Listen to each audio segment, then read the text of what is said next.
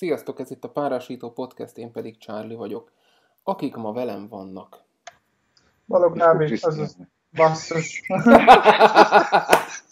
Sorry, elfelejtettem az érkezési sorrendet. Oké, okay, akkor kezdem újra. Jó. Sziasztok, ez itt a Párásító Podcast, én pedig Charlie vagyok. Akik ma velem vannak?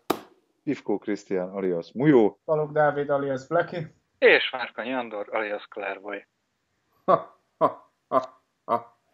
Mert hogy Fifika elhagyott minket, és a ködö, ködös Londonba elutazott. És ide. Hát, az internetadótól megrémült, de ezt majd kifejtjük.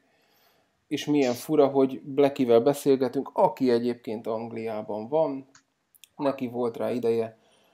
Fifikának sajnos a net nem úgy jött össze, hogy kellett volna, illetve hogy szerettük volna. Én titkon abban reménykedem egyébként, hogy meglátogat titeket, de félek, hogy ez úgyse fog összejönni. Nem valószínű. Úgyhogy tele vagyunk sztár vendégekkel. Hát celeb, celeb hátán.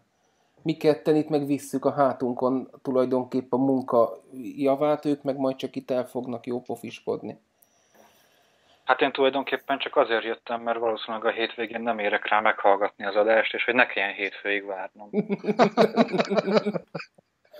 Jaj, Mert egyébként ez a pénteki podcast, ez tönkre vágta a hetritmusomat. De most... De... Hallod, Mujó? De ezt nem mondta egész...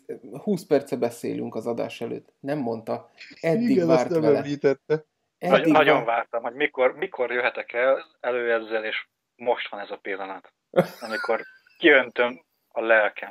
De akkor, akkor viszont mehet a catfight, mert hogy itt van Mujó, aki a csütörtököt ö, passzolta a péntekre, úgyhogy most leboxolhatjátok. Akár én támogatlak, Andor. Én Hát is támogatnám. Andort. Én is támogatnám Andort, hogyha tudnék podcastolni csütörtökön, de nem tudom. Szegény Andor. Egyébként tényleg- Amúgy meg gyönyörűen alliterál a pénteki podcast. Mm, és pénteki, várjál, pénteki párásító podcast. Oh, oh. Aranyalliteráció. A gyökér Starbucks az nem Jobban alliterál viszont. hogy micsoda. A Mondom, hogy gyökér a Starbucks. gyökér Starbucks az nem alliterál. Az nem alliterál. Starbucks. Az angol Starbucks, mert egyelőre csak a britekről van szó, de mivel hát nagy nemzetközi állózat, ezért lehet, hogy ez a remeknek egyáltalán nem mondható fejlemény tovább gyűrűzik. Az angol Starbucks, aki ugye egy kávézó hálózat, betiltotta az intézményeiben az elektromos cigaretta használatát a vélhető passzív vépelés egészségügyi kockázataira hivatkozva, tehát amellett, hogy pöcsök, még hülyék is. Úgyhogy ez van. Úgyhogy én elhatároztam, hogy bolykottálni fogom a Starbucksot. Dettó. Én is életem kezdete óta bolykottálom. Nem igaz, mert szendót azért szoktam ott tenni, de szoktam, atya úristen, utoljára két éve New Yorkba, de na, szóval én nem kávézom. De most majd nem fogsz. De most ma jól nem fogok ott semmit enni. Csak az ingyen fiúket fogom lopni.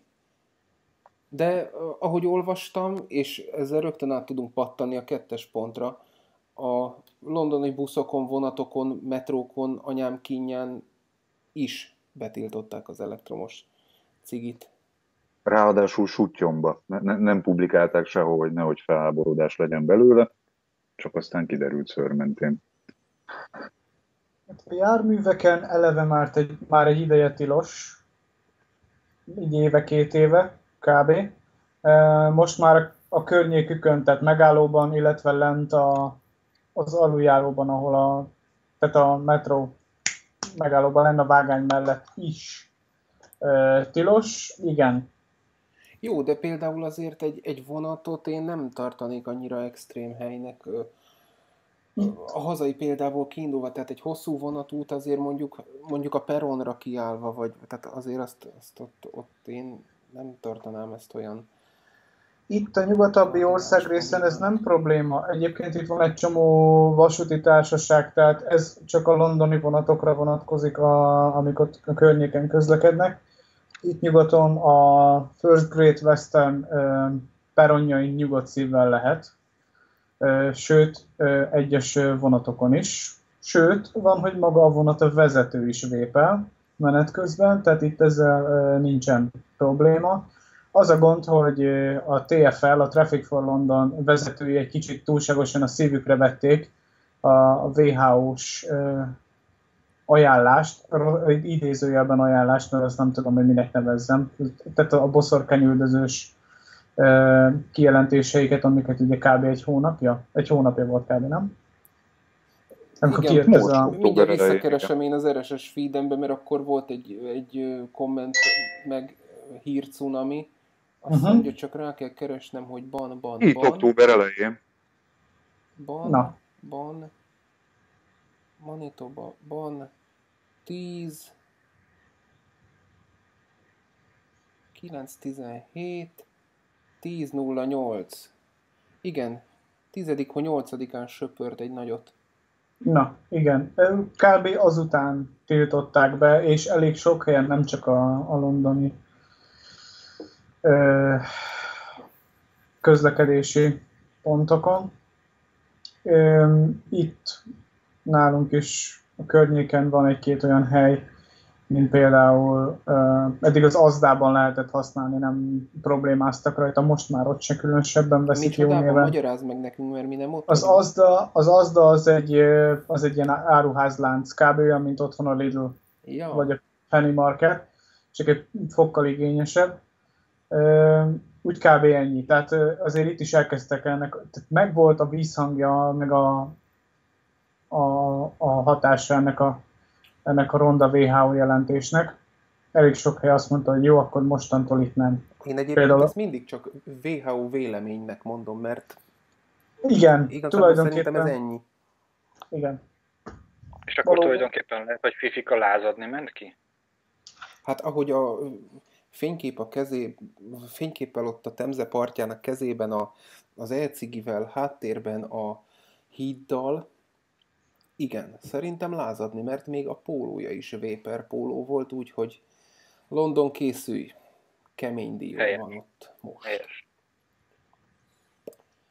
És hogy a hazai vonatkozására rátérjünk, beszéltünk egy pár adással ezelőtt a, a BKV-nak a tiltásáról.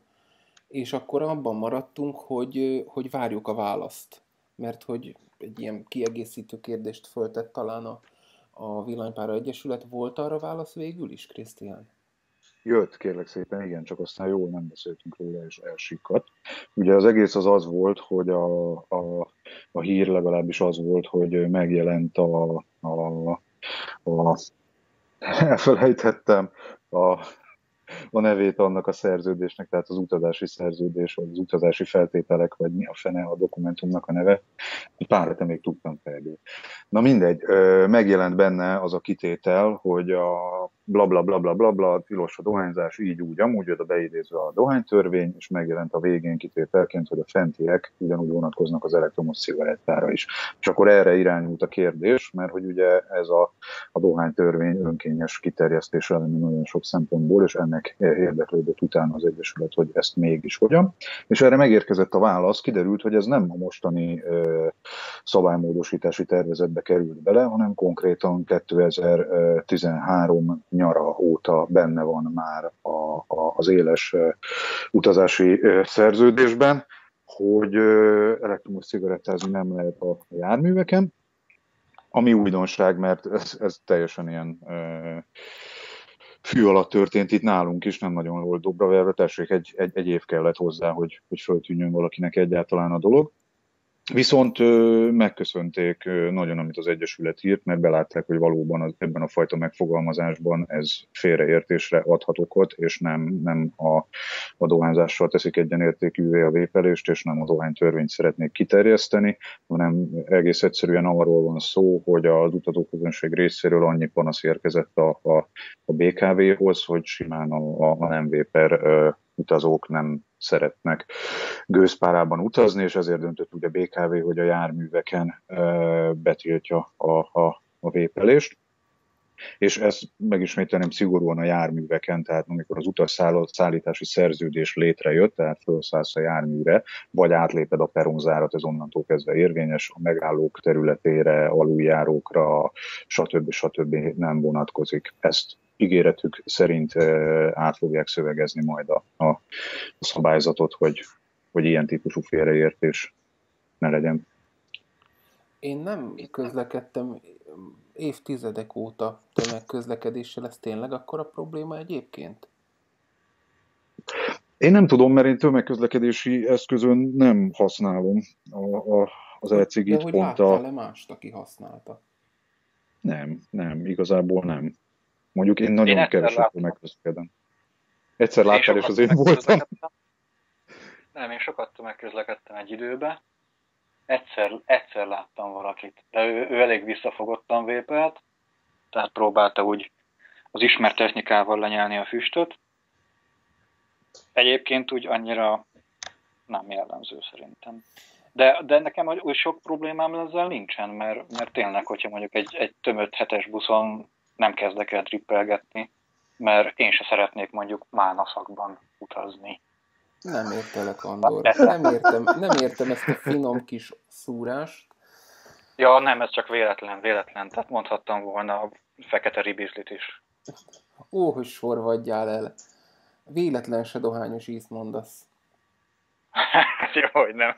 Egyébként, hogy, hogy Dávid mondta, vagyis hogy Blacky mondta, hogy kint van olyan vonatvezető például, aki vépel, ez csak egy kis színes, láttam a minap a Facebookon egy képet, ott nem vépelés volt, hanem hát ugye ezek a hévvezetők azért tolják az ipart rendesen, hosszú a menetidő, és hogyha éhes, akkor enni kell, mert hát lenessen a vércukorszint, és képzeljétek el ott a jobb oldalon a kis üres helyen, ahol nincs semmi, mint a hajókon, tudjátok, hogy ne boruljon föl az edény, körbe volt ö, fémből egy drót gyűrű fonva tulajdonképpen, középen egy kis rezsó, egy platni, arra rárakta menet közben az edényt, az ugye fékezésnél, gyorsításnál az ugye nem tudott elmozdulni, mert körülötte volt a gyűrű, szépen ott megmelegítette magának a kaját, és ott közben lakomázott menet közben.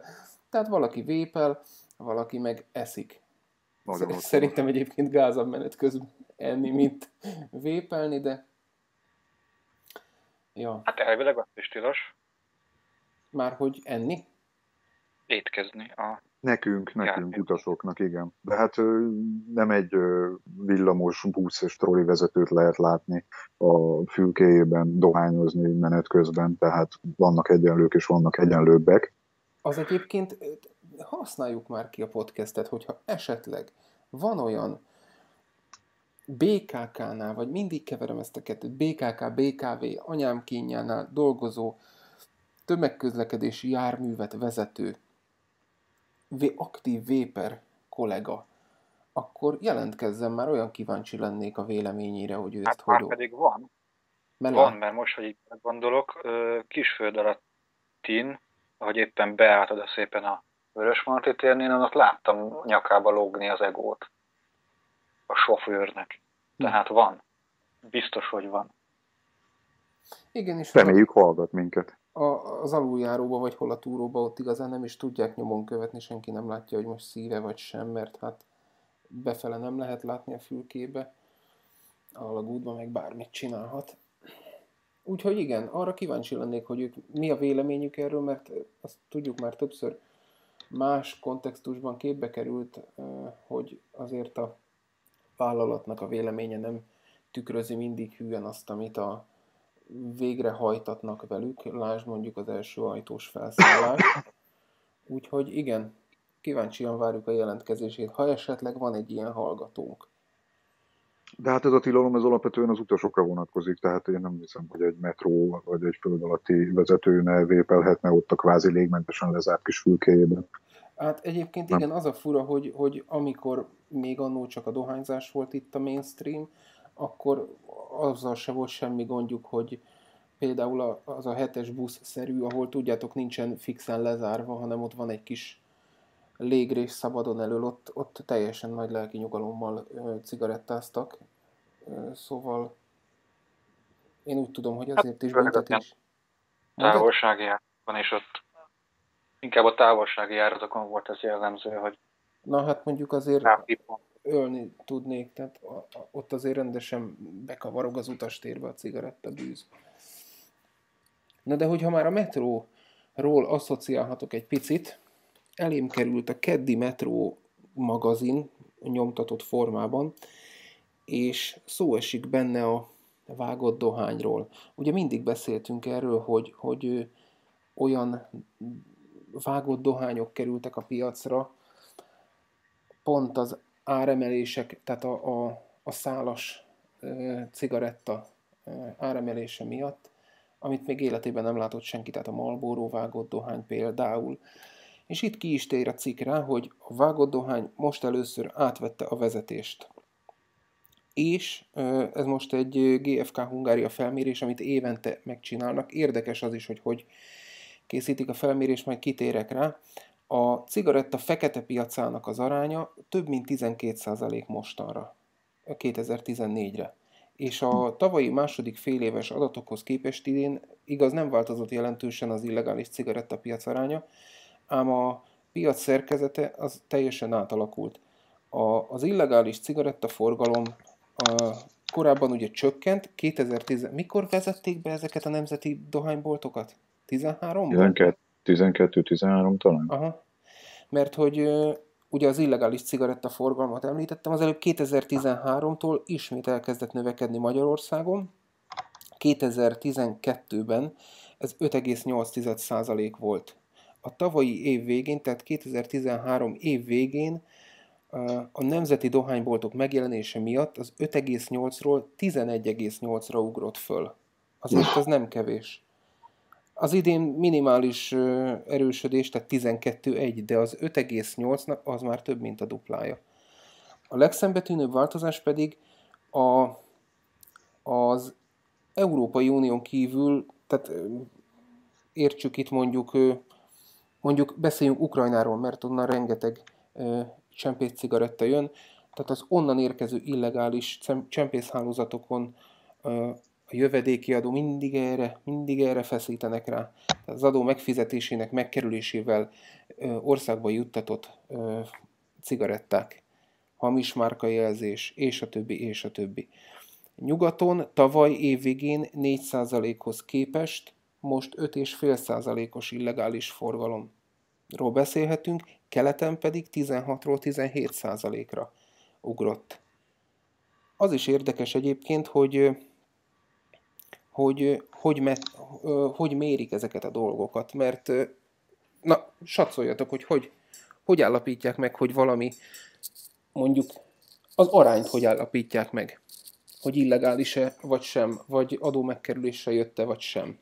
Nem tudom. Én... Na, kérlek szépen úgy állapítják meg, hogy kimennek a köztéri kukákhoz, fogják a kulcsot, kinyitják és kiborítják a szemetest. Igen, Igen nem már. De. És aztán meg, megnézik, hogy abból hány olyan cigarettás doboz van, ami nincsen zárjegy. És ez egy teljesen autentikus... és így, és ö, így mérik föl. Nem, nem, ez a, ez a GFK.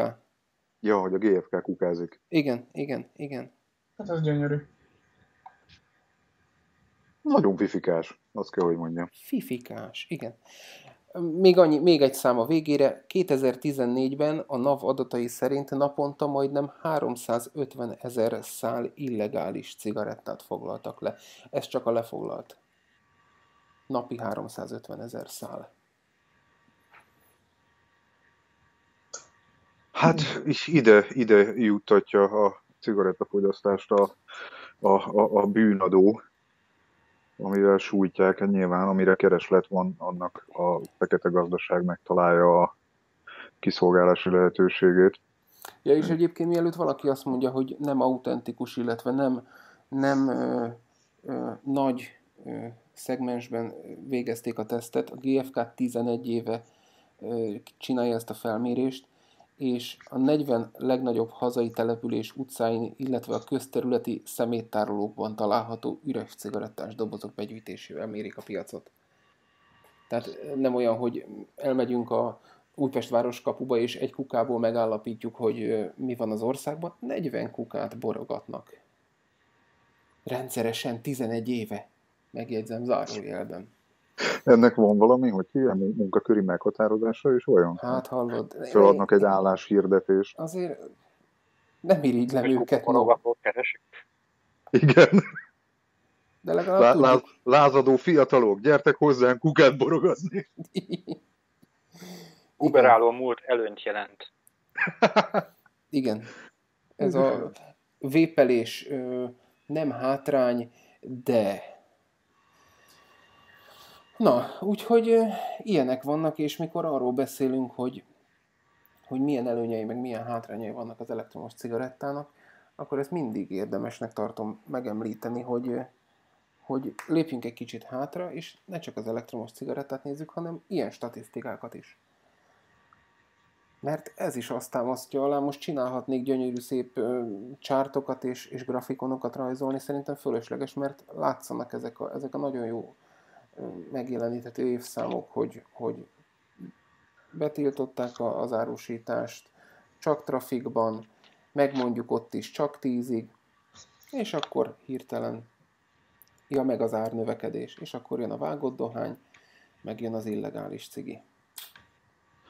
Ez a vágó dohány egyébként tényleg elképesztő reneszánszát éri, én így a baráti körből hallom innen-onnan, hogy aki dohányzott, jóformán mindenki átállt a, a, a, a sodrós, vágott dohányos történetre, mert kvázi megfizethetetlen a, a normális dobozol dohányzás. Mennyi most egy doboz cigi? De három éve nem nézem, úgyhogy fogalmam nincsen, de amik 1000-1050 körül lehetnek nagyjából. Az easy. Angliában is ilyen egyébként? Nem, ott drágább azért jóval szerintem. Itt, itt igen vaskos ára van. Vannak ilyen kisebb dobozok, amiben ilyen 10-12 szálat tesznek elég vékonykát. Ezek olyan 5 font körül mennek. A rendes 20 szálas, teljesen mezeinek számító, tehát az itteni Sopianna mondhatjuk így, ilyen Benson and Hedges, Lambert and Butler jellegű cigaretták, ezek 8 font per 20 szál. Elég, elég húsos, igen. 3200 forint. Úgy valahogy. Jó. A Ide vág egy- dohány, Bocsánat. bocsi, a Mondjad, vágott mondjad. dohány, mondjad. Nem, mondjad, mondjad, a végén is jó az enyém. Okay. A vágott dohány az meg 25 és 50 gram ö, kiszerelésben van, és ö, 4 font és 7 font azt hiszem az ára. Te jössz? Ja, Elfelejtettem.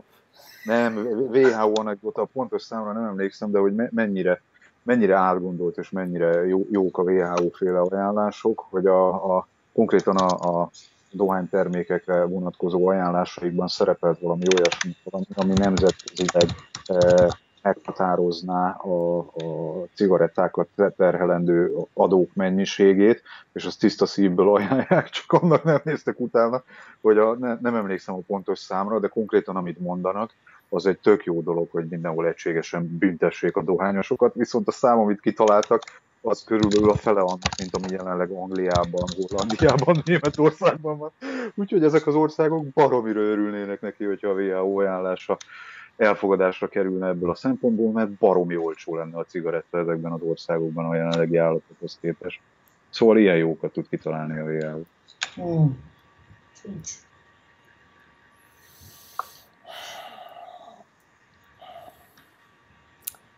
Na, menjünk tovább akkor. Statisztikával folytassuk, vagy a, azzal a unalmasnak is mondható cikkel? Mondj egy jó statisztikát, Charlie, szerintem. Minél később beszélünk arról, hogy cikkről annál jobb. Annyira nem. Megkattintom hirtelen és gyorsan.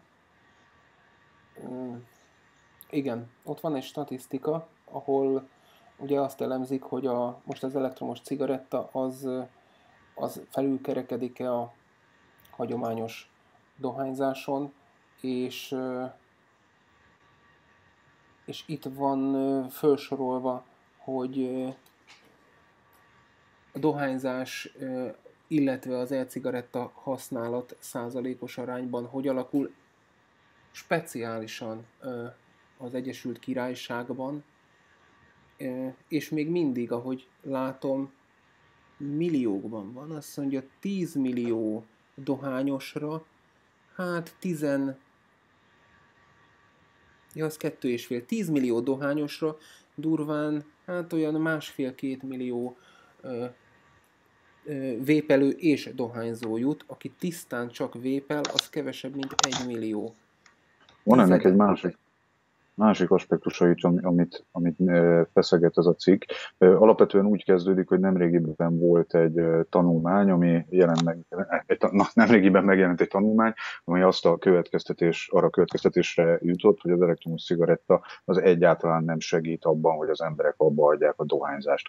És azt kritizálja, hogy kizárólag olyan embereket kérdeztek meg, akik sikertelenül próbáltak leszokni a dohányzásról. Tehát ha ilyen mintából válogatsz, akkor mégis is milyen eredményt vársz, és ezzel állítja szemben a, a, az angliai statisztikákat, amik, amik kijönnek, és a, a hagyományos leszoktató eszközökkel szemben, és hogy a számok alapján az Egyesült Királyságban 700 ezer dohányost, nagyjából a, a 10 millió dohányosnak a 7%-át e, e, sikerült átállítani vépelésre, ami ez a 7% hozzámérve az egyéb leszoktató terápiás eszközökhez képest az egy rendkívüli óriási szám és az a nagy buci, meg amit mondasz, az arra akar kilukadni a, a dual felhasználók, hogy a kettős felhasználók szokásait vizsgálták egy időpontban és egy évvel később is, és egy évvel később a kettős felhasználóknak a 46%-a abba hagyta a hagyományos dohánynak a fogyasztását. Bocsánat, hogy közbeszóltam, csak ezt az aspektust igen, ez a az elején. Igen. Uh-huh, uh-huh. Úgyhogy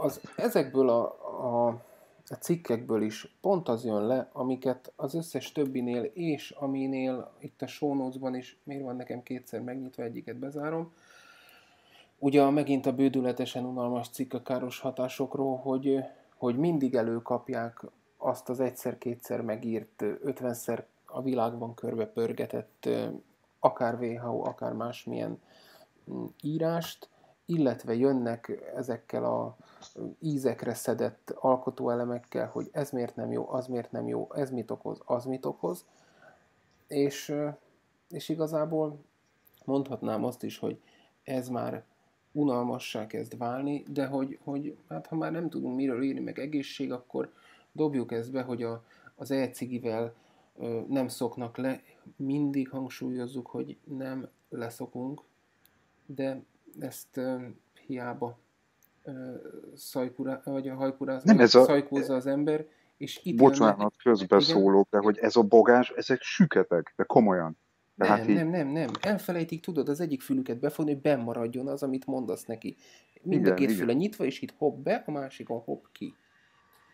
Tehát hmm. ezek a leszoktató eszközök, haló, haló, nem leszoktató eszközök. Á, köszönöm. Tehát ezek a leszoktató eszközök nem segítenek, de segítenek, nézze meg. Köszönöm. Tehát nem segítenek ezek az ti nem tanultok semmiből. Nem olvastok? Á, és, bocsánat, előtt közben. És egyébként az a vicc pont ebben a No Internet Café, vagy nő, hát inkább No Internet Café, hogy azt mondja, hogy föl, leírja, hogy, hogy ugye milyen hírességek például... Női net! Női net café. Női net.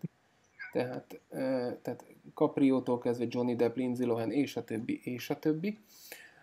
Hogy működik, ez, ez mind elfér egy bekezdésben, és aztán jön a, a komment cunami, hogy az ecigi, bár azt mondják, hogy a gyártók, hogy az ecigi ártalmatlan a felhasználók, felhasználók már beszámoltak köhögésről, vigyázat köhögésről, légzési nehézségről és tüdőgyulladásról is, amit valószínűleg a cigarettagőz okozott. Beszámoltak valószínűleg. Ezek a kedvenc szavaim. Igen. És akkor jönnek, hogy a hagyományos cigaretta ugye mit okoz, meg mit nem, és megint az agyon ismételt és csépelt az ecigi egészségre gyakorolt hatásairól eddig nagyon kevés tanulmány született. igen, bazd meg, kevés, de az a kevés is átmegy az agyadon. Nem? Tehát, de komolyan ez van. A gőz olyan parányi részecskéket termel, melyek lerakót hatnak a légutak hámsejtjeire. Erre írta a Tatár Tomi, hogy nehogy véletlen télen a meleg szaunába menjél, mert ott is durva gőzök vannak. A propilenglikol felső légúti irritációt válthat ki a nem dohányzók körében. Mi van?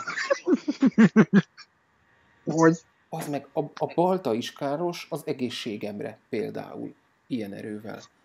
Ö, és a magas nikotintartalmú elcigi ugyanolyan veszélyes lehet a passzív dohányosokra, különösen a gyerekekre, mint a cigifüst. Persze, már megint balta. Rákkeltő hatása is felmerült, ugyanis a sejtek működését génszinten befolyásolhatja. Erről tudod, mi jut eszembe? A bináris. Végtelen bináris előny. Végtelen bináris előny, ugyanez. Sejtek működését génszinten, és ebben benne van alfától omegáig minden. Fölemeled a kezed, bazd meg, ez génszinten, ez durva. És, és az ilyenek, figyeljétek meg, az, mikor megkérdeztek valakit, és ő azt mondja, hogy á, de ez károsabb, mint a cigi, nem? Na ő ilyeneket olvas. Igen, sajnos ezekből van a legtöbb, ezekből a cikkekből. És de... tényleg, mintha bullshit generátorral írták volna, egy az egyben. És itt három bekezdésben írt, hogy mennyire szar, nem négy, majd az ötödik bekezdés, az három sor, az elcigi kétségtelen pozitívuma, hogy a gőze valóban kevesebb mérgező anyagot tartalmazhat, a fogyasztó választásától függően, mint a cigifüst, de hogy ténylegesen kevésbé káros, mint a hagyományos cigaretta, az nem bizonyított. Tehát az elején olyan, mintha adnék, aztán ah, azért azt visszaveszem, és akkor az ötödik, az ötödik is egy lehúzós bekezdés. Szinte minden tanulmány kimutatta valamilyen káros hatását, szigorúan hozzátéve, hogy nincsen elegendő adat. Farszalinos, basszátok meg, olvassatok. De igen, ezekkel, ezekkel a fajta cikkekkel az van, hogy mindegyiken így megvilágítod, és látszik mögötte a, a, az ismert uh, csontváz vagy árnyáték ott van mögötte, tehát ezek az érvek, hogy káros a, a környezetére a passzív vépelés, uh, dohányossá teszi a gyerekeket, nem tudunk róla eleget, ez mind-mind az, amit három éve a WHO, meg az összes közegészségügyi kretén hangoztat, már akik hangoztatják, tisztelet a kivételnek, hogy, hogy, hogy ez ugyanaz a sablon. Tehát könyörgöm, olvassatok már. Ott van, és azt nem fogjuk felolvasni, mert külön-külön mindig erről beszéltünk, de a, a Churn mag megint összeszedte az aktuális tanulmányok listáját, 14 darab tanulmány gyűjtöttek csokorba, ami mind-mind hitelt érdemlően cáfolja ezeket a bugyuta valótlan állításokat. És a kulcsszó, a hitelt érdemlően, mert ezeknél mindig az van, hogy nem tudjuk, találgatják, akár az is lehet, ahogy te is mondtad, Charlie, mindig ez a, ez a feltételezés, levegőbe beszélős őrület van. Tehát igazándiból a, a WHO párti nyilatkozók, akik uh, kiolóznak uh, dirib darabokat félre sikerült tanulmányokból, és aztán a, a, azzal döngetik a mellüket, hogy króm van benne, króm van benne, igen, de mennyi. Hogy ezek a, negatív tanulmányok, amiket olyan előszeretettel emleget, vezetnek, és tudományos szempontból ezeket ennyi húzás lenne tanulmánynak nevezni, mert a, a, a tudományosság minden kritériumát messze menőkig nélkülözik. Hogy ezzel szemben viszont itt vannak ezek a tanulmányok, amit tényleg nagyon körültekintően és tudományos alapossággal végeztek el, úgyhogy érdemes átfutni őket és Különben szerintem ez a baj velük, hogy túl, túl alapos, nem, túl nem, nem elég, és nem elég bulvár, de hát könyörgöm, hát egy tudományos tanulmányról beszélünk. Az... Hát, lehet, hogy ezeknek úgy kéne írni, hogy, hogy megértsék, hogy... Úgy, hogy a bors is le tudja adni. Igen. De egyébként itt több, több podcaster társamnak van házi állata, vigyázzatok. Fontos tudnivaló az elcigivel kapcsolatban.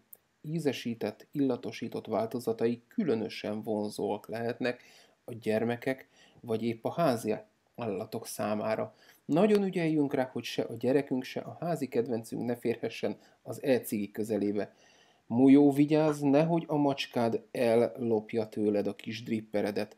Mert az a... én macskám. Andor macskái, hát már halmozott a Na, Andor, vigyázzál, mert... Ez, pat... ez egyébként Igen, ez nálunk komoly probléma. Két kirfanis tankomat is már eljátszották. De most viccen kívül a PG és a macska az nagyon nem jó páros, azt remélem tudjátok. Mert máj problémákat okoz a macskáknál a PG. No. Meg is halhat tőle. Tehát a PG nem a nikotin, nem a VG, nem az ízesítőanyag, a propilenglikol az, ami veszélyes a macskákra, de kizárólag a macskákra. Ez olyan, mint hogy a sünnel meg teljes likvidet nem szabad szivatni. de nem a diacetil miatt. Igen. Én nem tudom Andornak mik a tapasztalatai az ügyben, de hát én mi így ketten-három éve zsonglőrködünk ellikviddel a macskán környékén, és soha Jó, persze, egyszer... a gőzétől, a gőzétől nem is lesz baja, mert az egy Ja, nem. kis mennyiség, hanem érted, tehát ha bele nyalogat uh, likvidbe, úgy komolyabb mennyiséget elfogyasztva, az elég problémás tud lenni. E- Erre gondoltam, nem a, nem a Nem. gőzölésre. Akkor. Soha nem láttam, a hogy likvidre. Igen, pont ezt akartam mondani És én is, szoktad egyszer nem láttam, hogy érdeklődne. Nem, azt szoktam átküldeni neked tesztelésre. Hm. Nézd, Akkor nézd milyen már jó új tudom. málna. Tudom már miért ízlett annyira. Egyébként nagyon jó, mert elolvastam a cikket, és utána láttam csak az ismerős arcokat kommentben alatta. Amire persze senki nem válaszolt. Tehát Egyébként, ott, ott hogyha- vagy te. Igen. A dohánycégek tehén úgy beáztathatják kezelés gyanánt a dohányt, akkor az Andor had ízesíthesse már macska ürülékkel az ellikvidet. Erről nekem mindig a cibet macska jut eszembe. És végül is a kopiluek is egy nagyon menő kávé. Átmegy a macsekon, fermentál, megeszik, kikakál, minden egyben, de lehet, hogy az Andor is. Andor? Piaci rés. Nagyon durva áron tudnánk adni. Hmm. Kopiluek. Hát csak akkor a PG-t ki kell vonni a likvidből. Jó, jobban fog a macska feneke gőzölni, mert tiszta végé lesz. Ennyi. Hát ő, a, a macska nem az ízre megy, hanem a gőzre. Na, és akkor itt kis színesként egy Instagram képezt pont, pont ki is találta? Dimitris, igen, a jó Dimitris találta, majd berakom a fényképet, a képnek az az aláírása, a Vaping Greek, a normális ember utazás előtti éjszaka csomagol, egy véper újraépíti a kazánját. És ez mennyire igaz? Igen. Ahogy elindulnék, előtte mindig új tekerés, új vatta, kis zacskóba, pótvatta, póthúzal, csavarhúzó, csipesz, csak így szabad elindulni. Igen, és ilyenkor én speciál mindig megesküszöm, hogy lesz egy olyan kis dobozka, ami mindig utazásra föl van készítve. Minden szükségessel. És van? Aztán mind, nem, mindig Nincs. elfelejtem Soha. utána összeállítani, és akkor így órákon át pakolom, hogy ez kell, ez kell, ez nem kell, ez kell, ez kell. Borzasztó. Bezzeg cigiskorunkba, be a kartonban, a táskába, kész. Igen, igen, érdekes. Ami még érdekes, hogy kis színes ez is. Hogyan készítsünk e-cigi tököt, azt megkattintottátok? Ú, én még nem. A 9-es sorban.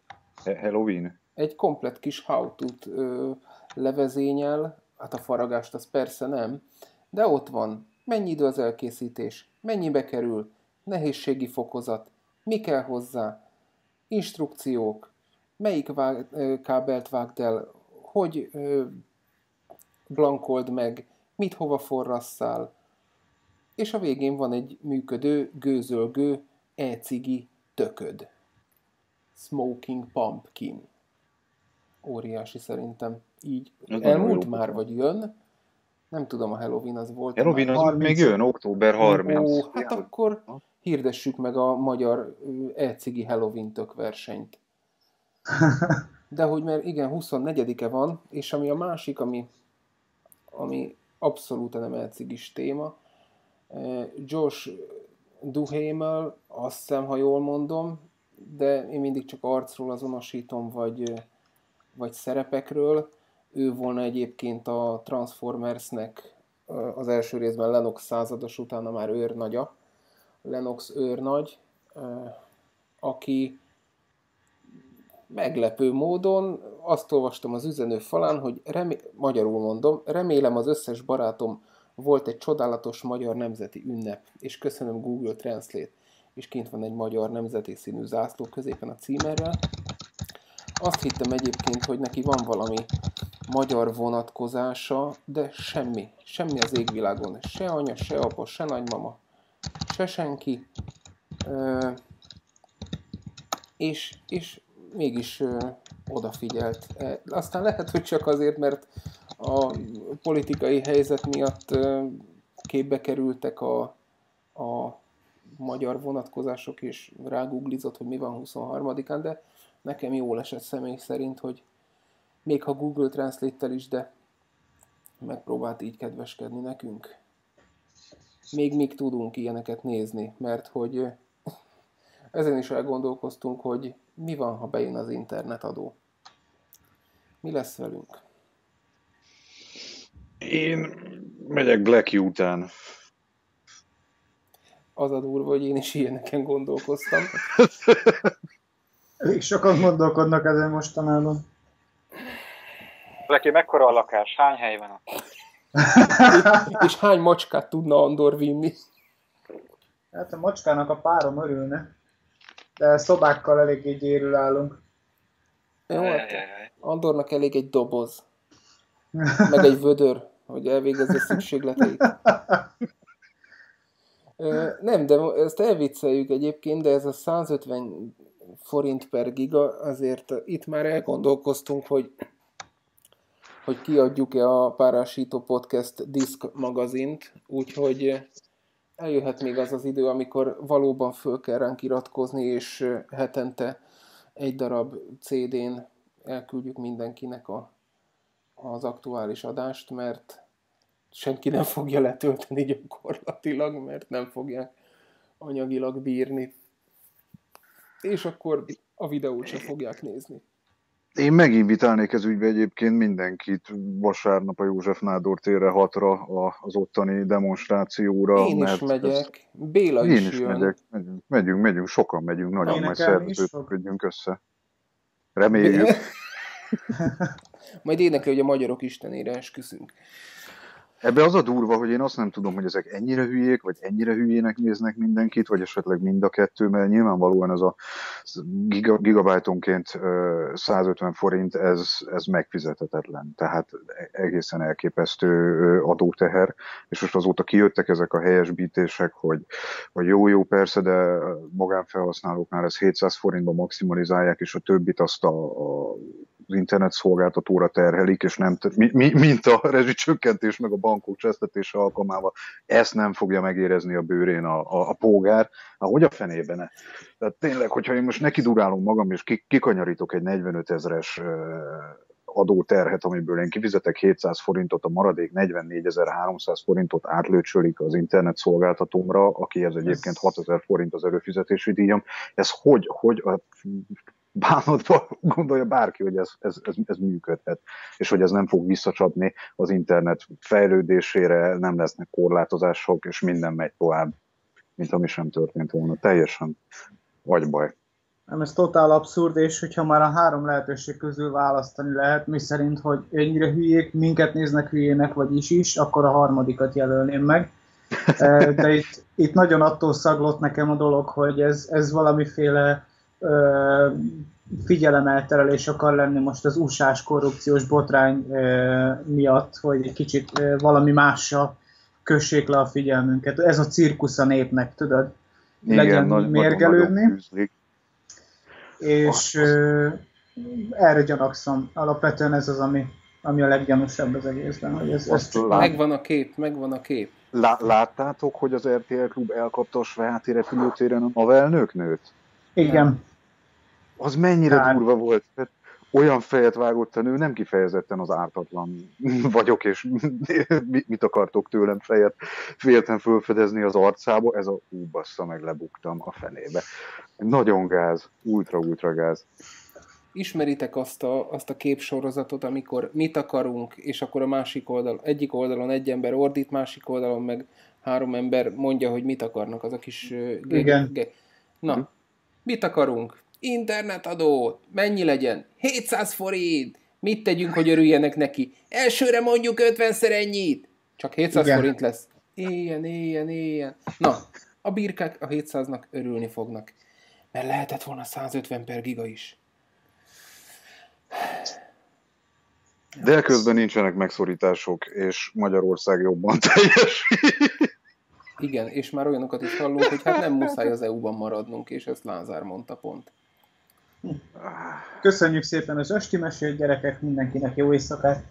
Ja. Lekapcsoljuk, mert sok lesz a net. Igen. És ahogy említettem, mostantól jó te fogod föltolni a netre. Miért én? Hát mert nekem már nem bírja az internet csomagom. Ó, basszus. Nem baj, tömörítsd be 32 kilobit monóra, és az, minden jó lesz. Az adósságcsalás. Az adó elkerülés, bocsánat. Igen. Nem. Igen. És ha kikapcsolod a böngészőbe, hogy letöltse a képeket, akkor a naplegények rádúgják az ajtót másnap.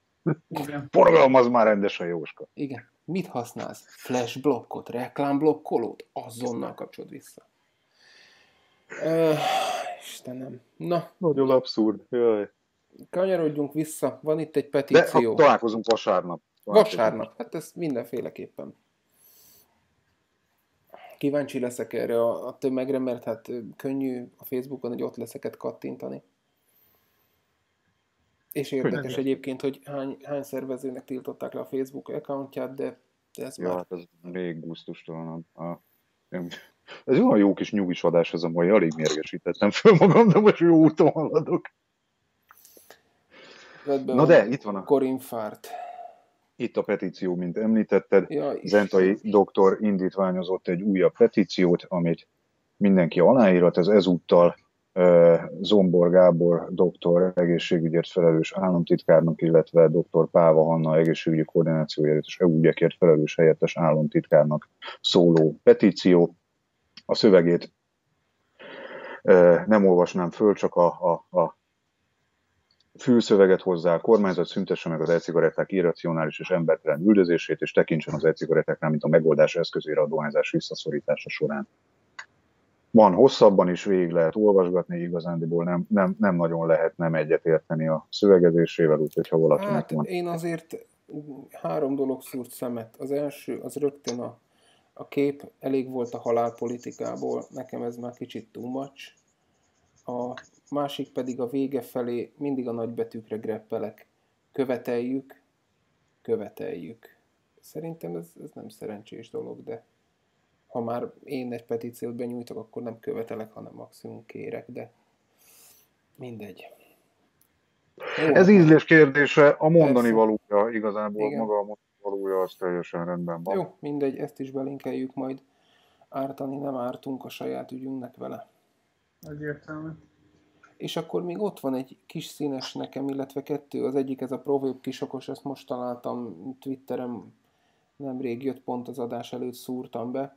Egy, hát to is mondhatnám, egy, egy ilyen hogyan használjuk és mit hogyan csináljunk kisokos ProVape módra.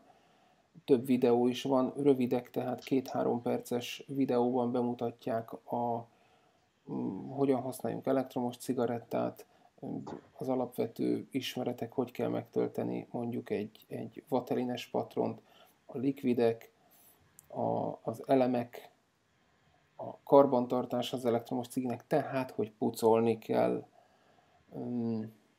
A többi, a többi az meg elég provés specifikus, tehát hogyan használjuk a, a provárit, de érdemesnek tartom nem is annak csak, aki, aki provárit használ, mert azért itt van még benne fémszövet hidas kazán is, ha lejjebb tekerünk vatelines tankpatron, hogy hogy kell ezeket üzembe helyezni.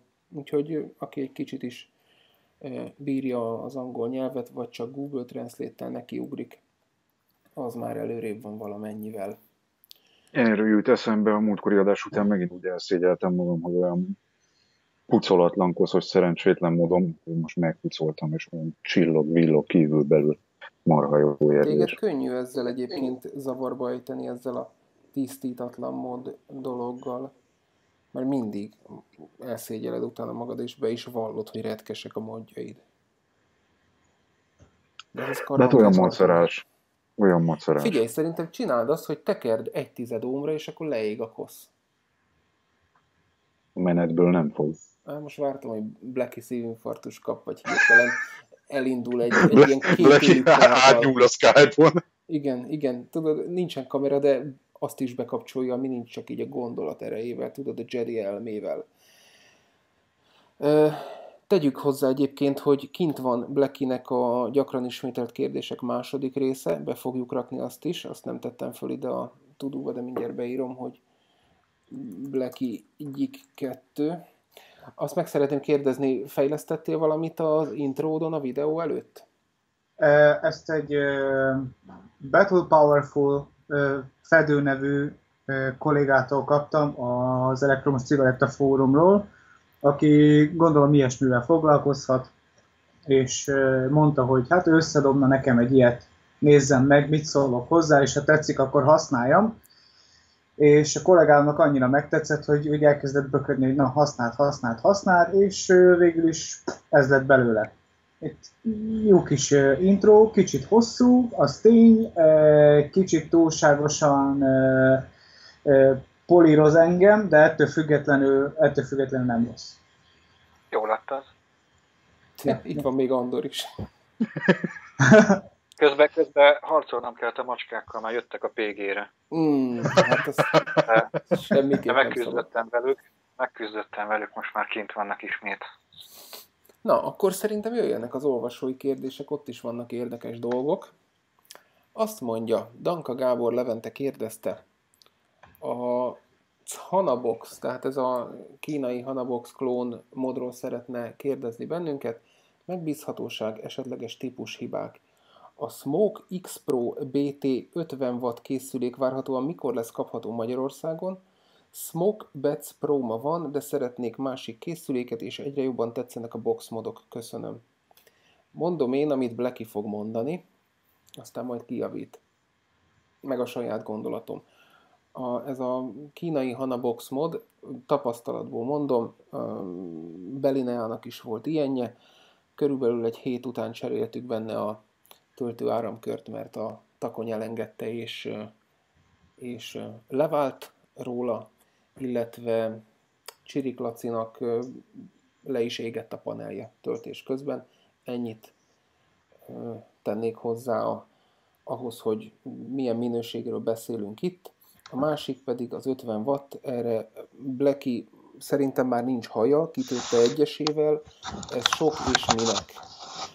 Illetve mikor lesz kapható Magyarországon, nem vagyunk kereskedők, tehát nem tudjuk megjósolni, hogy mikor lesz kapható, ha egyáltalán kapható lesz Magyarországon. Vélemény?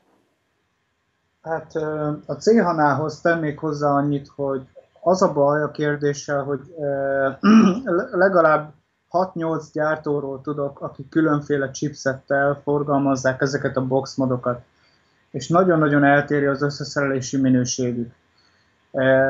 Láttunk már a Fastekről rendelt olcsó verziót, ahol csak simán melegragasztóval oda van gavronizálva minden a doboz belsejébe. Ne röhögé. és eléggé gyenge vezetékezéssel van megoldva. Sokan panaszkodtak, hogy például a, a modul mindenféle indok nélkül írja ki azt a hibaüzenetet, hogy túlmelegedett a panel, és sorolhatnám. Tehát a megbízhatósága ezeknek a boxoknak kb. olyan, mint a Mercuros Zaporozsec. Lehet, hogy olcsón hozzájutsz, és olcsóbb, mint, mint bármelyik másik 30 wattos mod, de van rá 30%-ot, hogy kifogja egy jót, 70%-ot pedig, hogy valamiféle problémád lesz vele.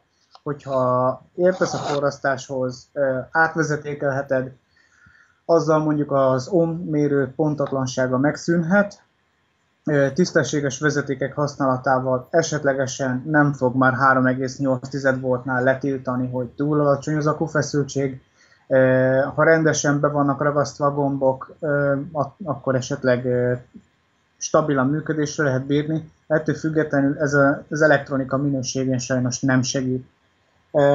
ZNA klónom van, három darab, három különféle gyártótól, illetve HANA boxom is, és ezek a DNA klóncsipek, hát nem mindegyiknek tudom azt mondani, hogy, hogy olyan a minőség, ami elvárható, sőt a legtöbbje nem olyan. Bizony cserélgetem őket eredeti evolve és ég és föld a különbség. Köszönöm egyébként, valakit Most. hozzám irányítottál elektronika véget. Akinek hát figyelj, akinek otthon kell... a modult. Még egyszer? Chipnek hívta Blacky a modult, pedig a videóban erre külön kitér, hogy az ja, modul. Én kérek elnézést. Szóval igen, küldtem hozzád emberkét, sőt, hát te vagy az egyetlen, akiről tudok, hogy eredeti volt árul otthon. Ha valakiről nem tudok, és mégis teszi, akkor elnézést. De, de igen, tehát kereslet, kínálat, én meg ezzel az információval rendelkeztem, de rigó, ennyi. Egyébként válaszoltam neki, sajnos nem jelzett vissza, nem is ez a lényeg. Én akkor örültem, mikor megláttam a faszteken az üres szerelődobozokat mondjuk C-hanából. Mert az viszont azt mondom, hogy aki ért egy picit az elektronikához, a forrasztáshoz, egy nagyon jó kis barkács elfoglaltság lehet, hogy van egy eredeti elektronikája, és belerakja egy kész dobozba, és mégse olyan, mint egy, mint egy ilyen projektbox vastag alufallal és, és csúnya is. Tehát igen. Erről. Ez egy teljesen jó ötlet. Az egy teljesen jó ötlet, megvehet az ember tizenpár ezerért egy DNA box, vagy mi a fenét, egy DNA modult, meg mellé egy töltőpanelt, és kész. Annyi a dolga, hogy bevezetékeli. Hogyha esetlegesen valamelyik vezeték nem stimmel, nem kell csüggedni, minden háztartásban van otthon hosszabbító, vagy valami beáldozható olyan vezeték, ami megfelelő áramerősséggel el tudja látni a panelt. Értem ez alatt, hogy nem feltétlenül a legjobb minőségű kábelek vagy vezetékek jönnek ezekkel a dobozokkal, na bum, otthon van drót, vagy lehet kapni valami 100 forint vagy 150 forint méterre, hajrá. És egyébként, hogy, hogy ne kezdjen mindenki észszerűt vagy ész nélkül felújítgatni, itt tulajdonképp, ahol, ahol igazán terhelés rohangászik, ugye az a paneltól az 5-10 csatlakozóig, és a, a paneltól a, az akkumulátorig. Pontosan így van. Oda... nem, nem vészes, hogyha a ah, nem oda... két milliméter vastag sodrot réz.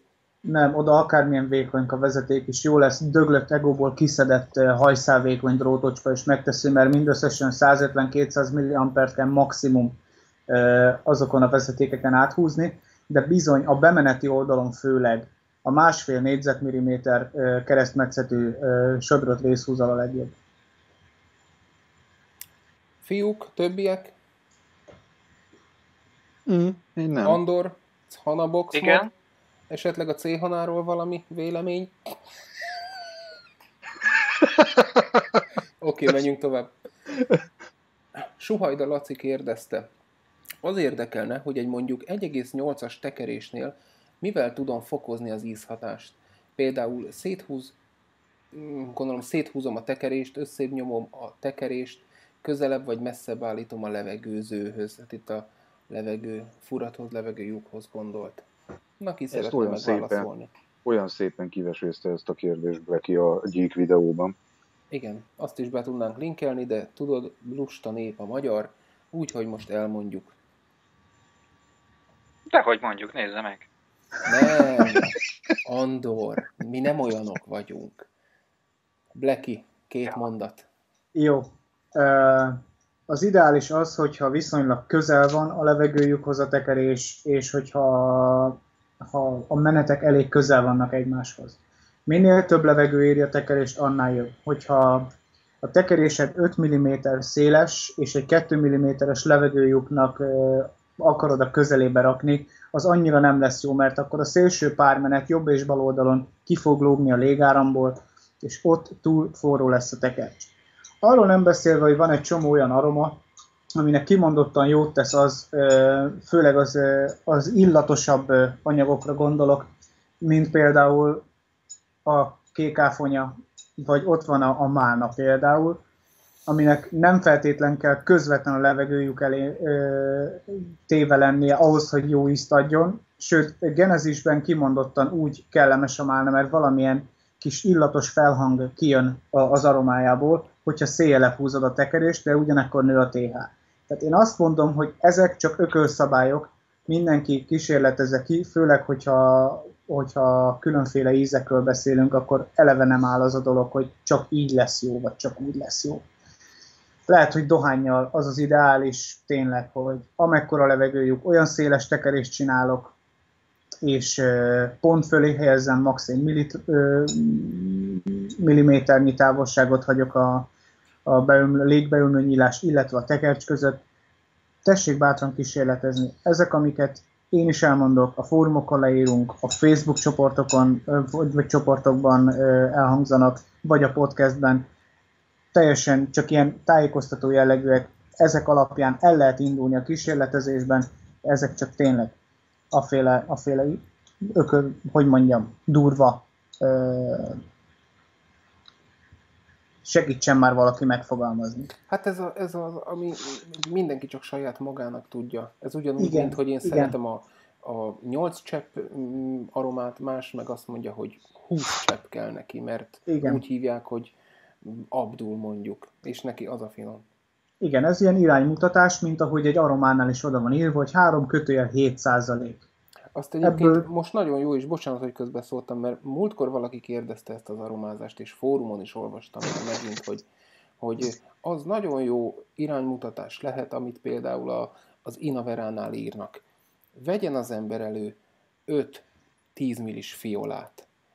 Középsőbe cseppent 8 cseppet. Alatta fölötte meg két-két cseppel, többet, kevesebbet, többet, kevesebbet. Hagyja érni mondjuk két napig, és drippeljen bele. Végig, sorba az összesbe. És megnézi, hogy neki melyik a jó.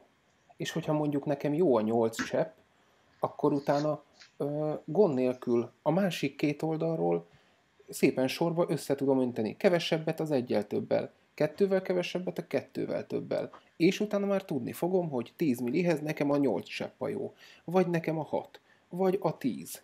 És akkor nincs az, hogy hogy csöpögtetek bele nyolcat, ez kevés. De akkor már csöpögtettem, akkor belecsöpögtetek még abba, ami már fogyott, az már nem annyi milli, akkor nem pontos az egész. Szerintem ez a legegyszerűbb módja, és viszonylag könnyen, gyorsan ki lehet vele tapasztalni. Két-három nap alatt. És azt nem felejtjük el felírni magunknak. Persze. Ehhez az aromhoz jó nekünk a nyolc csepp. Mert a másik, hogyha erősebb lesz, akkor ahhoz meg már sok lesz, vagy kevés. Igen. És az aromához sincs uh, szigorúan előírt százalék vagy cseppszám, minden aroma más dózist igényel, gyártónként, ízenként teljesen független az adagolás. Ha van gyártói ajánlás, akkor tessék azt szerint Charlie által felvázolt módszerrel elindulni. Ha nincs, akkor próbáljuk kicsiben, és azt még mindig lehet tovább aromázni. És természetesen azt elfelejtettem mondani, nikotinmentessel szórakozunk, ha sikerült és jó az íze, akkor lehet nikotinosban is ugyanolyan kicsivel kipróbálni. És ha esetleg nem jó, 10 millit öntünk ki, nem egy decit. Jó. Ezt én is tudom ajánlani egyébként a végigkóstolását az aromának egy intervall, intenzitás intervallumon keresztül, mert más és más aránynál akár egészen érdekes felhangok is hangsúlyt kaphatnak, amik mondjuk kevesebbnél nem. Úgyhogy ez, ez tök jó, amit mondtál, Charlie. Uh, igen. Persze, jó, hát én mondtam. Na, menjünk tovább. Szűcs Péter, két emberhez volt kérdése, dedikáltan. Clairvoy. Geppetto még mindig a trónon van? Esetleg mi van még mellette a közelében? A macska. A macska. Igen, aki nyalja, aki eltökíti a dripjeit. Na, szóval? Ö, hát melyik Geppetto? Na, ó, jaj, mekkora arc, milyen arcoskodás, így finoman ott, melyik Geppetto? Nem, szerintem egyébként a farkasosra gondolt, mert azt, azt látta a találkozón. Igen, az, az, az konkrétan itt van a kezemben. Ez örökre a trónon marad, ez, ez nagyon csodálatos egy eszköz. Kifogástalan. Működik. Róla. És mi van még mellette? Hellfire használod? A macskán kívül Egyébként most pont a Hellfire drip van a Geppetton, amire te gondolsz, ugye ez a kis hibrid. Igen. Azt, azt használom persze, de nem olyan gyakran, mint például a, a kis zöld Diablo hibridemet, amit szintén láttál. Hát én minden Hajós a kis teflonos? Nem. Nem, ez Micsoda? a betűs. Igen, a kis zöld Biohazard Edition. Azt, azt nagyon szeretem, tehát kis pici, könnyű alumínium. Alumínium. Meglátják Al- orsósék, akkor óvatosan. Tehát az, az mindig itt van nálam. Utcán előkapom, már használom, és a modot. Ezt akartam, hogy az a rossz, aki rosszra gondol. A Weiss volt. A modot. Tudtam, hogy a Weiss. Egyébként pedig napi szinten mondjuk még a, a, a Cousin Next a felszóval, amit használok. Milyen üzem? Olcsó, hazai. Drip? Drip, drip, drip. Aha. Hát én nem szarakodok ilyen tankos vackokkal minden. Azt hittem mást mondasz. Igen. Állító, te is itt a szívemet, basszus, augusztus vége óta várok a kuzinre. De mire? Kuzi mire? Nextre. Ja, Nextre. Na jó. Hát vár, vár, mert jó készülök, úgyhogy nyugodtan. Én is szeretek gondolni. Szűcs Péternek van még egy címzetje, Blacky. Jön a tél, előkerülnek a kartomizerek. Nálad? Most mi a sláger ezen a téren? Direkte tettem mindkettőtöknek egy kérdést, ugye Clairvoy és te. Szeretném, ha és lenne, nem vagy, mert ugye itt azt mondtam ugye a, a csoportban, hogy Blacky és vagy Clairvoy jön a mai adásba, és ő ugye arra presszionált, hogy és legyen. Tehát jön a tél, kartomizerek, sláger. Őszintén szólva, itt ebben az időjárásban nem nagyon vagyok rászorulva arra, hogy kartomizert használjak, úgyhogy az most szerintem ki fog maradni, arról nem beszélve, hogy a kartomizerek piaca, meg hát a kínálat hogy összességében eléggé visszaesett, amióta gyakorlatilag olcsó lehet Kaifunklonhoz jutni, mindenki Kaifunklont akart. Én uh, sajnálom egyébként. Igen, valamilyen szinten nem ö, szerencsés, viszont az egy más kérdés, hogy egy egészen másfajta élménnyel ismerkedhetett meg az, aki eddig nem engedhetett meg magának egy ilyen jellegű készüléket, vagy egy ilyen jellegű porlasztót. Ettől függetlenül leginkább az a bajom az egésszel, hogy elbagatelizálja, vagy eltántorít esetleg olyan embereket egy eredetitől, akik kifognak egy vacaklónt. Már pedig tudjuk jól, hogy nem mind arany, ami fénylik a faszteken. Hát ezért kéne eredetit venni. Igen.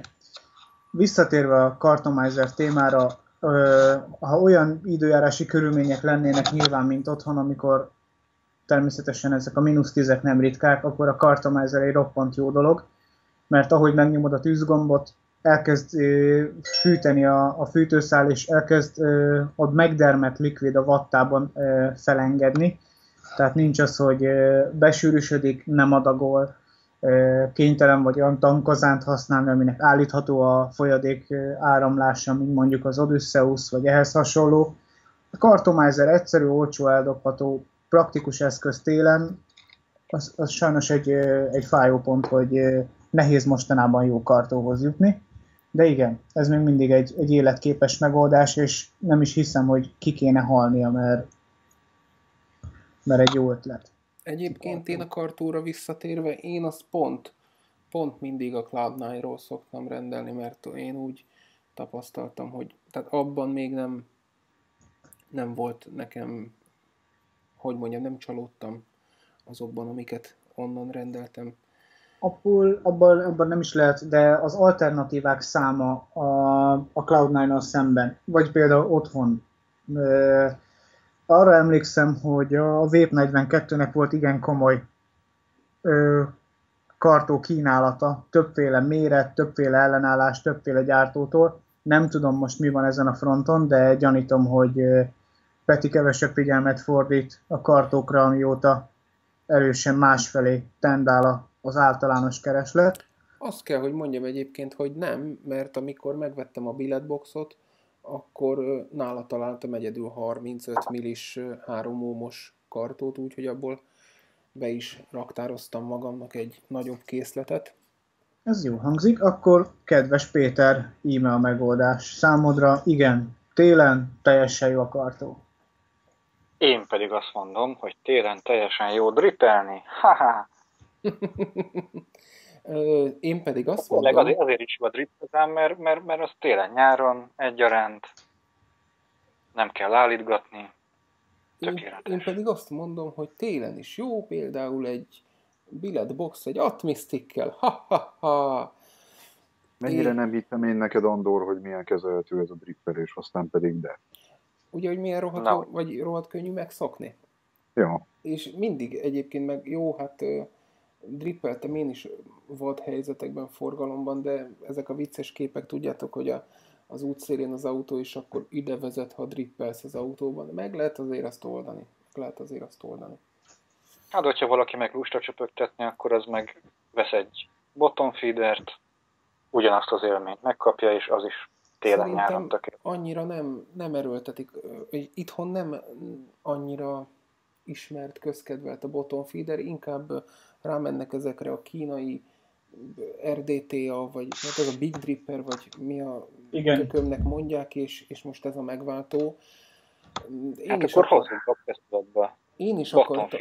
mindenkinek. Bocsánat, én is akartam egyébként ilyen uh, Big Drippert, de... Elnyomnak, Andor, elnyom. Nem nyomjuk el az Andor, csak uh, eszembe jutott, nem akarom, nem akarom elfelejteni, hogy pont az volt a bajom, megnéztem a felhőnek ezt az RDTA-ját, egy darab pici lyuk, ugye két tekerés, és még ugye ez a 28 25-28 fokba használtuk nyomott hármat, és ugye csak mindig arra az egy pöttyre megy, nem a két tekeréshez, és hogyha hideg van télen, és áthűl az egész tank része, akkor azért az az 50-50 is be tud úgy sűrűsödni, hogy ne, ne pöttyenjen. Ilyen szempontból nekem most nagy bizodalmam van, a Béla föltette a, a bronz, metalik bronz prováriát, meg a varadérót, úgyhogy én a varadérót azt elkommunizáltam tőle, és nagy megelégedéssel fogom használni a provárin a varadérót, a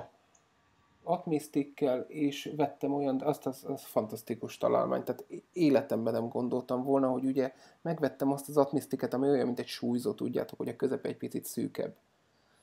És nincs a varadérón luk fölül, nem tudod, hogy tölteni, följebb húzod úgy, hogy a, a dripre rácsorgatod, és szépen a drippen keresztül becsorog oldalt kívülről a tankba a likvid, úgyhogy Béla, hétvégén várlak szeretettel. És a Provária még mindig eladó kis színes közéleti blokk volt. Na, Clairvoy, belét szorítottam a szót, mit akartál még mondani? A, a dripperre, meg a, meg a bottom feederre. Ennyit, minden Whoppernek bottom feedert. Meg vépmétet. Azt is.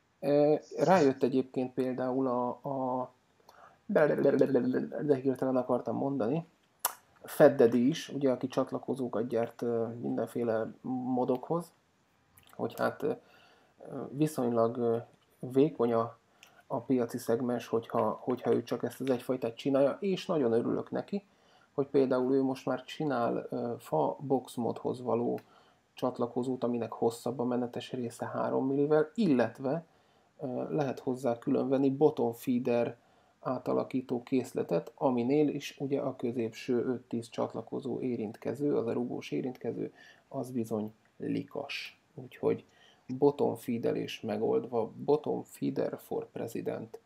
Nagyon szeretnék már én is egy jó bottom feedert, de majd tőled úgyis elkérem, Andor, nem kell nekem venni, mikor neked van. Ennyi. Jut eszembe, a Reom ott van kölcsön Oszinál. Oszi, Reom, mi a helyzet? Mekkora tróger, hogy kihasználja? Hogy kihasználja ezt a podcastet? Mi a helyzet vele, Oszi?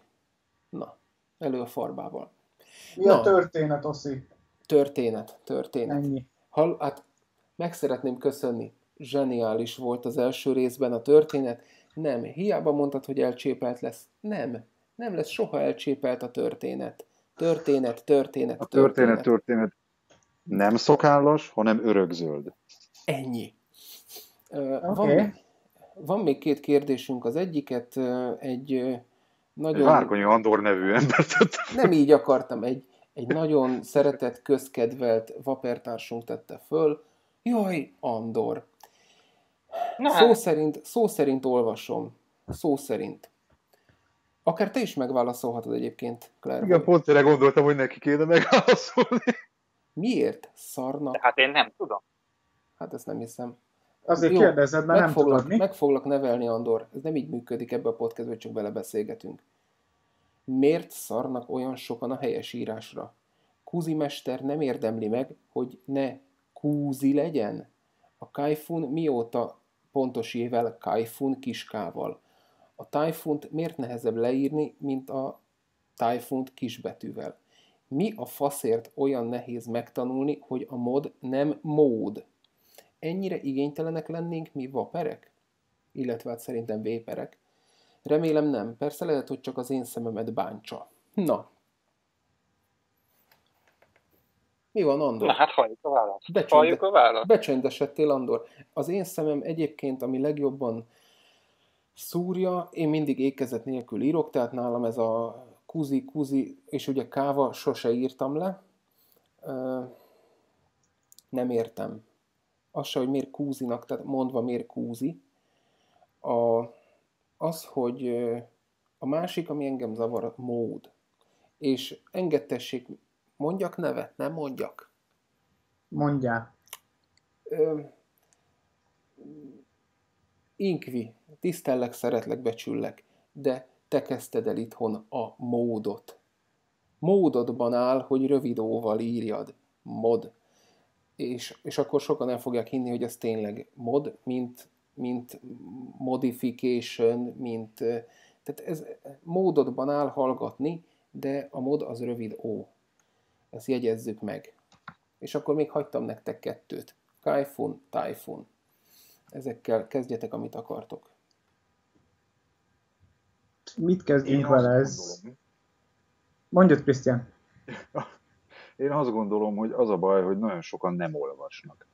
És ilyen fonetikus íróüzemmódba kapcsol egy idő után az agyuk, és minél többet olvas az ember, annál jobban szokja a betűket, meg hogy ezek a betűk csoportokat alkotva igenis úgy néznek ki, ahogy azoknak ki kell nézniük. Úgyhogy ez nekem nagy szívfájdalom is egyébként, hogy az emberek nem olvasnak, és me- megkérdezek egy-két 20 évest, meg, meg 10 évest, ha véletlenül összefutok velük és beszélgetek, akkor föl vannak háborodva, hogy hogy, hogy gondolja az ember, hogy olvassanak, olvasni szar, hogy nem olvas. Meg már és megint ez... nyelvtannáciskodsz.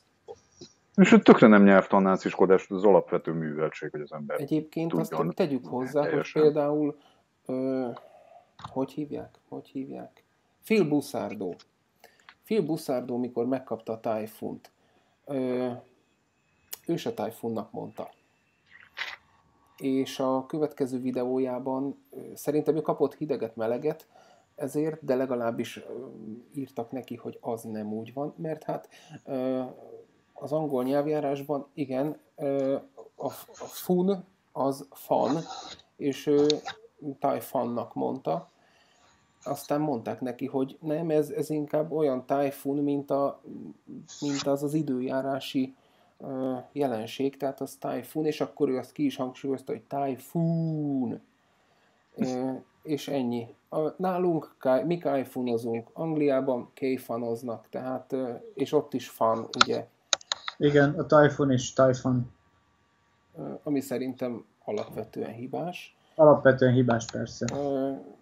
Az a baj, az én meglátásom szerint, hogy akik nemrég csöppentek bele, és már nem abban a világban, amiben annó mi, hogy volt a Kartó, a CL2, meg az EGOT, meg, meg az NGP, hanem puff, egyből felújítható kazánok, RDA-k, tömkelege, Helixek, és a többi, hadd ne soroljam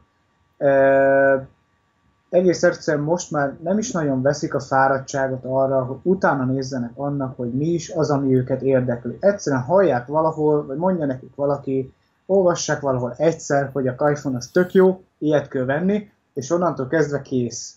Ő neki kajfon kell. Ö, nem néznek utána annak, hogy mire van szükségük, egész egyszerűen csak rámennek arra, ami, hogy úgy mondjam, fel van hype jogosan vagy ö, jogosulatlanul teljesen lényegtelen. Nap mint nap lehet ez, így van, de ezt nap mint nap lehet látni, vissza, lehet látni, hogy visszaköszön, bele kell nézni a fórumba, vagy a Facebook ö, csoportba, vagy akármi, ahol az ember ö, megveszi a, a, megrendeli a világ kedvenc honlapjáról a Vamo V6-ot, aztán föltölt csodálkozó arccal egy képet, hogy úgy, hogy meghajt ez 0,8 ohmos kazánt. Úgy baszki, hogy nem olvastad el a termékleírást, ahol le van írva, hogy 0,3-tól felfele bármit meghajt. Úgy, hogy kinyomja magából a 20 wattot, úgy, hogy megint nem olvastad el. Tehát értitek, mire próbálok gondolni, vagy ja, célozni. célozni. Igen, tehát ö, valaki azt mondja, hogy így, vagy ez, rámegy, kész, nem néz utána, el se olvassa kétszer a termék nevét, az marad a fejében, ahogy egyszer az úgy hirtelen megragadt, és kész. Éppen ezért van az, hogy a kuzit van, aki képes leírni kúzinak, van, aki leírja a Kaifont jével, és láttam már a Typhoon ellipszilonos jével, és attól már a hajamat téptem. Jesszusom. Egyébként a, a kuzira kicsit kitérve, még ha nagybetűvel is, kis, kis úval, hülye vagyok, nagybetűvel is, rövid úval írja, azt mondom, hogy még abban lehetne valami, ha tudná, hogy mi a keresztneve Kuzinak. Igen, de, a vezeték. Bocsánat, igen, a vezeték neve. De igen, maradjunk abban, hogy Kuzi nagybetűvel, kimondva, tök mindegy, hogy hogy mondod, rövid úval, Kuzi. Ennyi. Szerintem azért ennyit megérdemel bárki. Abszolút. Bárki, van. Megérdemel, Én meglátod, az Phil Buszárdóra rászóltak.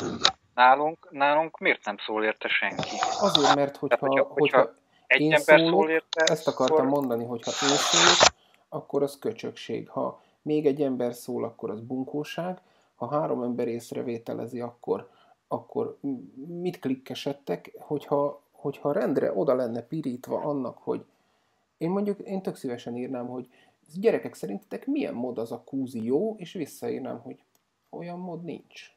Csak akkor hát megint élenék a sutyó. Igen.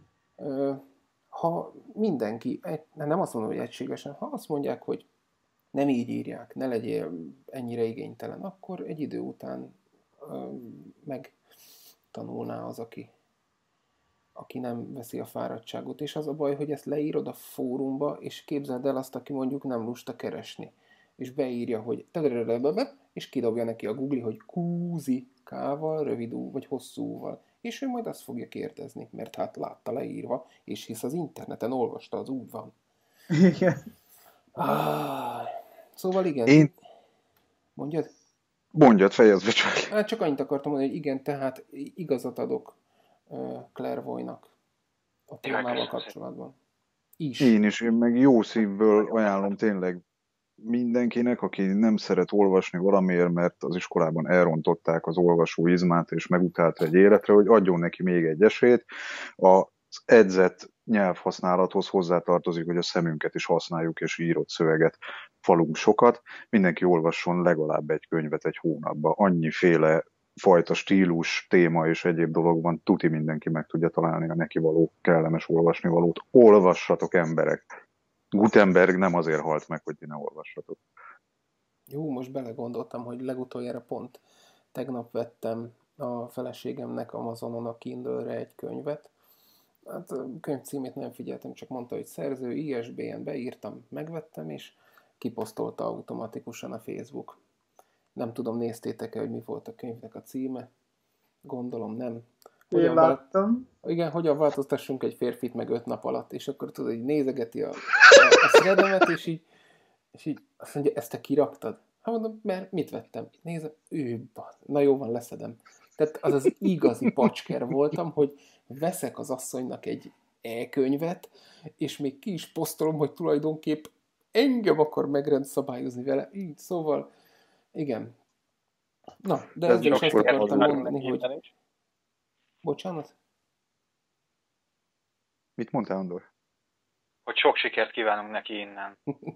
sor, sor vagy el, Andor. Na, szóval elektronikus könyv, iPad, írott könyv, nyomtatva, bármi, csak ne a blikket. Á, bocsánat, nem akarok én senkit ellene hangolni, meg aztán engem is beperelnek, de mindegy. Szóval értelmes, szép irodalmat, nyugodtan. Mert az nem árt. Na, van még itt egy kérdés mm, Balanek Dánieltől. Nem tudom, hogy felolvasom, aztán megmondjátok, hogy belefér, mert tulajdonképpen már jóval túl vagyunk az egy órán, de vannak ilyen emberkék, akik szeretnek többet hallgatni belőlünk, nem tudom miért. Házi lötyikeverés szabályai, miből érdemes, hol lehet segítséget találni, megemlítve a fórumon a táblázatot, alapelvek, fajtái, stb. Főbb fajtájú kazánok, meg, tehát ez a jó, Gavron, ez már sok. Mm, maradjunk ennél a résznél. Szerintetek van ebbe értelme most belekezdeni? Röviden egy pár mondatban, de természetesen érdemli, érdemileg nem lehet annyira belemenni.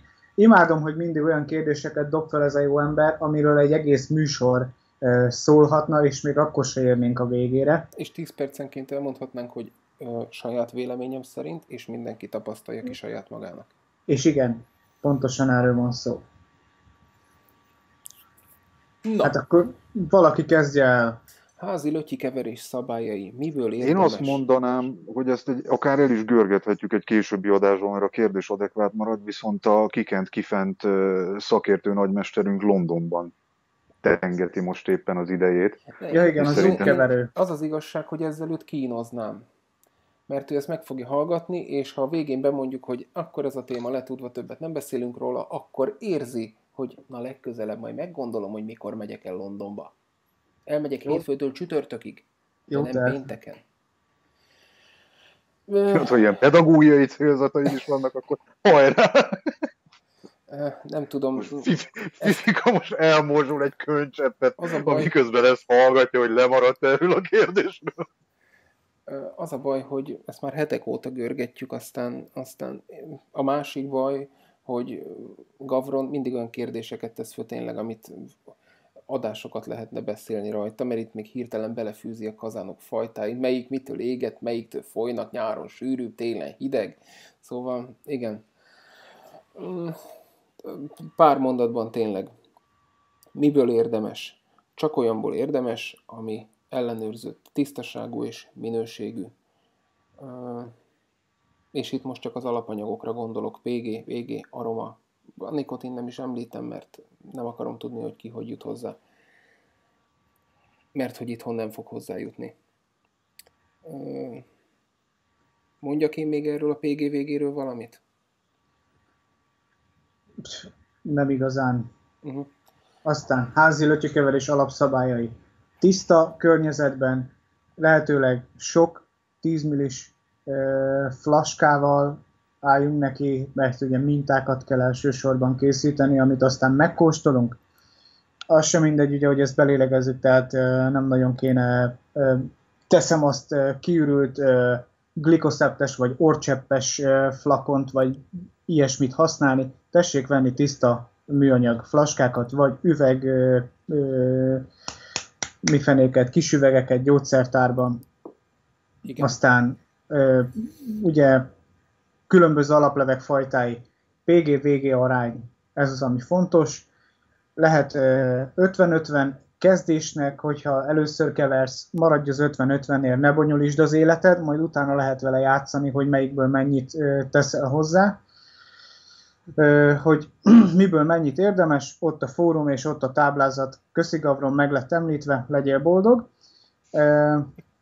Adhatsz hozzá vizet, de ne túl sokat. Egy 5% bőven elégséges, de azzal is majd csak később, amikor már hozzákeverted az aromát, és már megvan az, hogy ennek így, így normális íze lesz.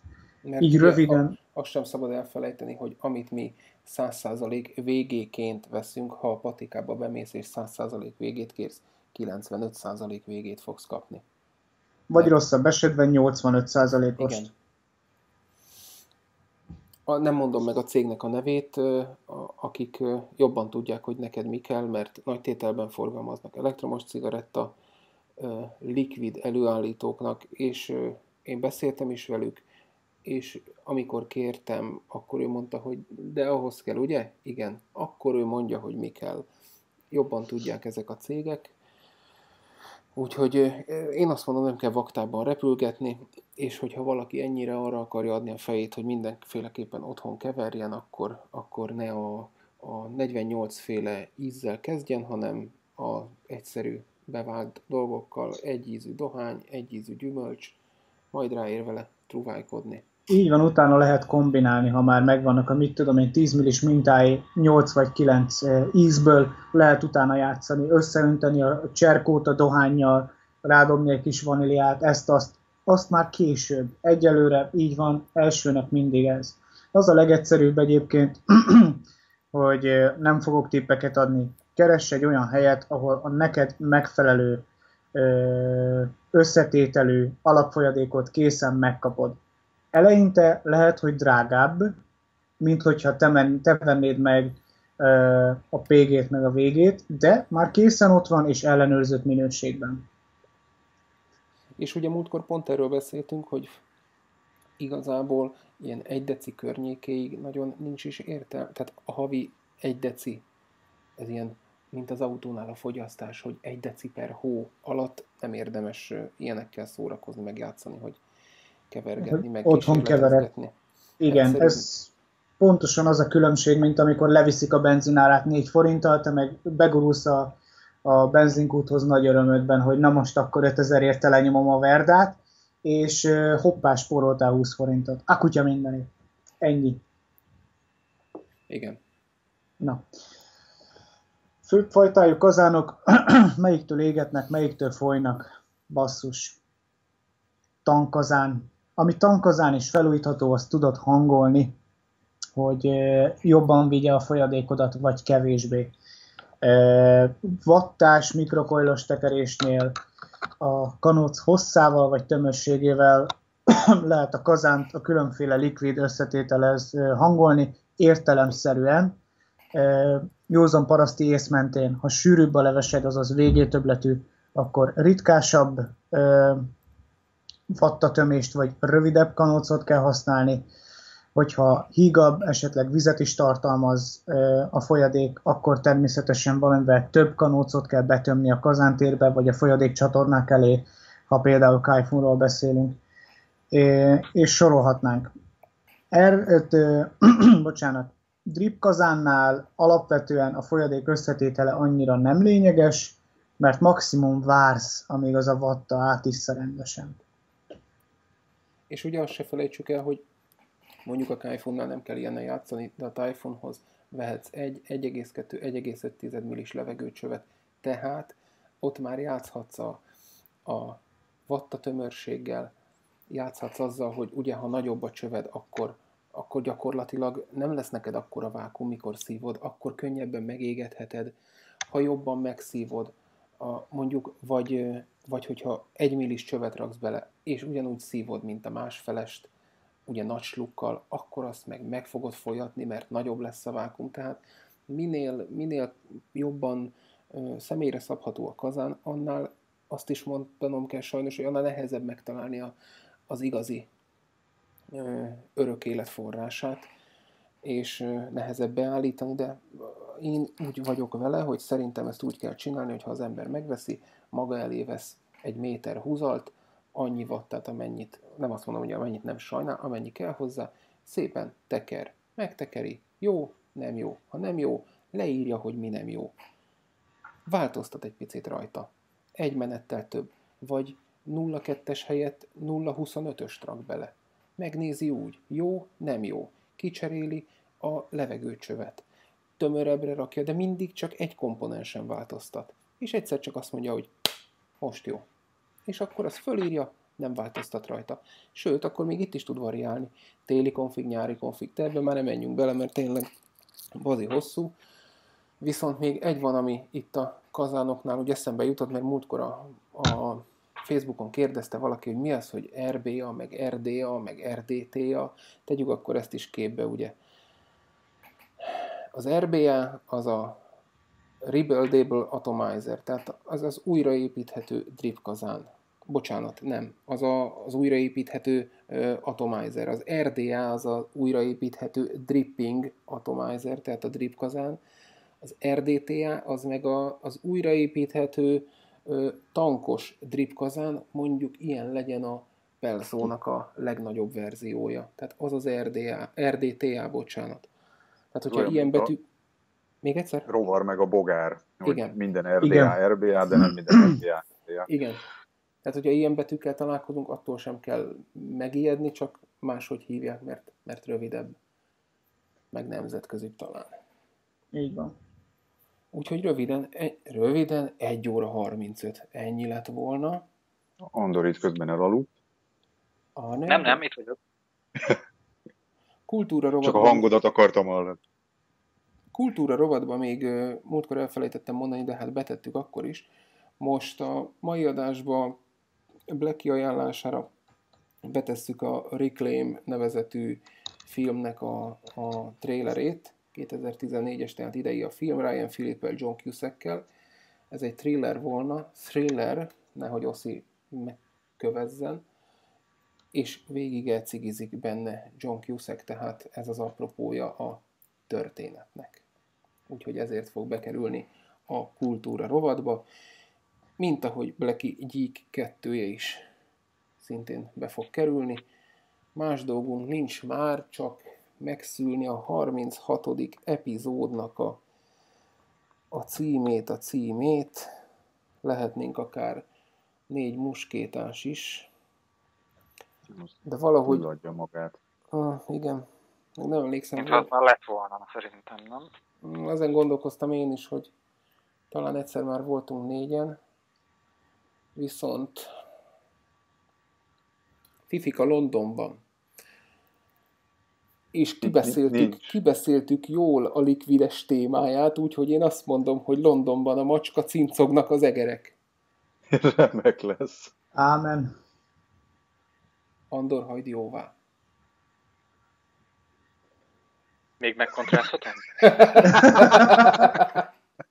Van az a pénz, Andor, persze.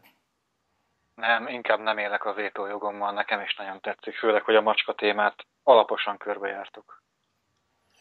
És tényleg az is. Több szálon kapcsolódtunk akkor a címhez. Akkor Londonban a macska cincognak az egerek. Ismét jó 1 óra 37 percen vagyunk túl most így négyen. Örülök, hogy itt voltatok velünk. Sziasztok! Sziasztok! Jövő héten csütörtökön találkozunk. Sziasztok! nice try! Szia, Andor! Hello! Péntek! Ah. Na, szevasztok! Na, mindenki szépen elinteget. Alihó! Sziasztok! Sziasztok! Hello!